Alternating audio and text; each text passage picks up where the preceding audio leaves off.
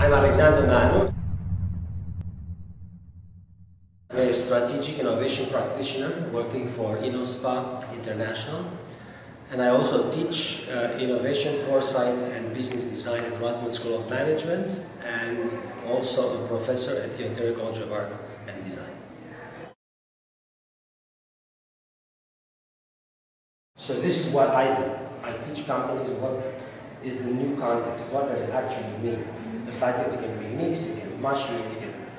The digital code is different than everything else.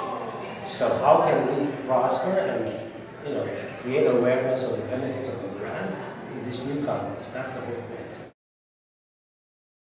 Media is only one. There is no new, no old, no past media, there is only current things. When you search and you find, we call that the media for pleasure of that moment.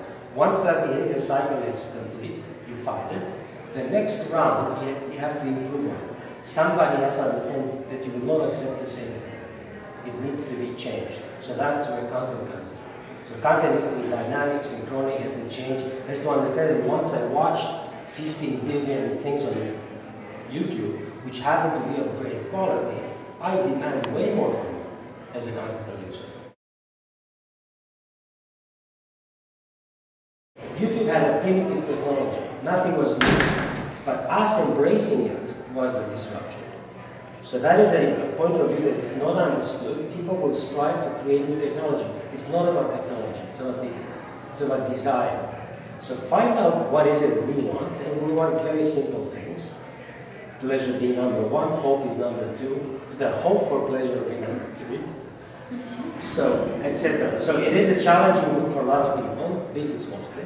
I believe business is the variable and you are the constant. Your behavior, your search for moments of pleasure. Life is about desire, it's about you searching pleasure. Pleasure has many forms, and entertainment is just one.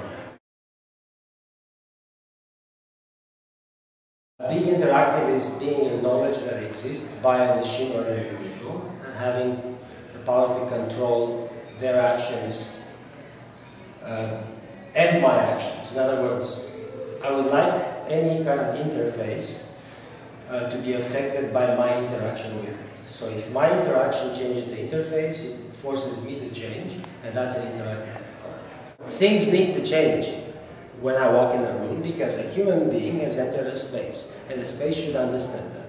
So we have ambient technologies that understand that right now.